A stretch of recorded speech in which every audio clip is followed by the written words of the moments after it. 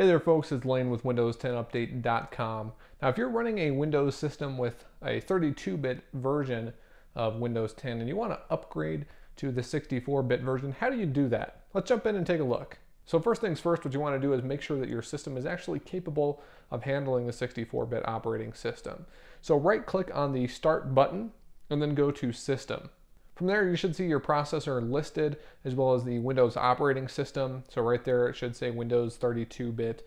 And if it says x64 based processor, that means that your processor is capable of handling a 64-bit operating system. So this is really gonna be most useful for people that are switching to a system or maybe installing uh, additional RAM so that they're gonna have a total of four gigabytes of RAM or higher. If you're not using a system with at least four gigabytes of RAM, uh, it could actually be a negative for your system to, uh, to use a 64-bit versus 32-bit operating system. So the next thing that you want to do is make sure that all of your other hardware installed on that machine is also capable of handling the 64-bit operating system.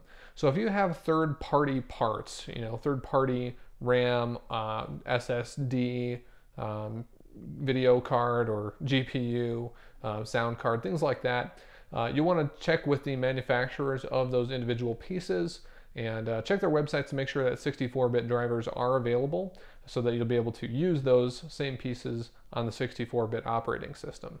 Next, it's very important for you to go ahead and back up all of your data.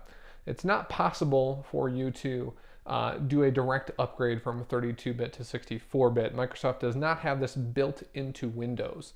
Um, so you will need to get an external hard drive of some sort and then back up all of your data if you need to save any of that.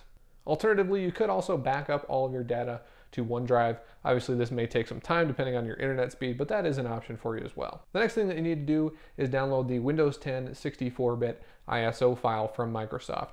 We'll leave a link to that in the description of this YouTube video and in the blog post if you're viewing it on the blog. So you'll also need to create a bootable USB drive if your system does not have a CD drive. So what you need to do to do that is go ahead and insert your USB drive, go into File Explorer, right click on it and choose Format.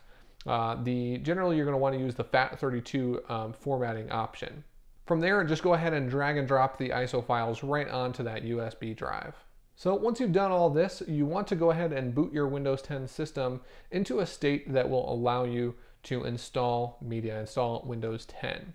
So devices like the Surface Pro 3 that I have behind me are UEFI enabled.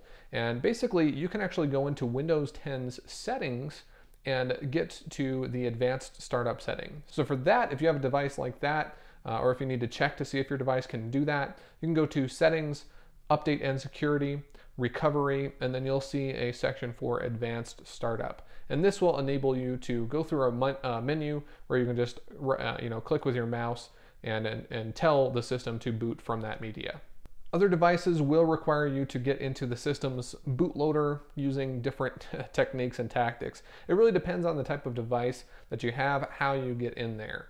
Sometimes you can get there from software, other times there's a specific button configuration that you need to press when you reset your system. Sometimes you need to hold the F11 button while it's booting up. It just depends, so you'll want to take a look at the specific uh, instructions from your man manufacturer. So a simple Google or Bing search should be able to tell you how to do that. Now from there, you're just going to go through the Windows installation process. That can take, depending on what kind of system you have, you know, up to a couple of hours. Sometimes it can be very quick, depending, again, on what type of system you have. Now, even though you have probably backed up all of your media, some of that media may still be available, or really should still be available on Windows 10 after you have booted up the system. Um, so you're going to be able to go into the File Explorer, go to your C drive generally, and you should see a section there that says windows.old. And that should contain all of your files from your previous Windows installation. Uh, so keep note of that because that can take up a lot of memory on your system. Uh, the old Windows installation is still on there as well. You probably want to leave the old Windows installation on there for some time, but after a little bit of time, you may want to remove that and save yourself some space. Now the reason we suggest waiting a little bit before you delete that uh, partition, that, win that old Windows installation, is that if there are any um, inconsistencies or incompatibilities with your hardware, with the 64-bit system, you may need to roll back and it may be easier not to go ahead and delete that right away. So then, of course, you're going to need to go ahead and reinstall all of your software. There will be nothing on there on your machine from your old Windows installation um, other than the Windows 10 apps that, that actually ship with the product. If you have any questions about this process at all, feel free to leave us a comment below. Thanks for watching.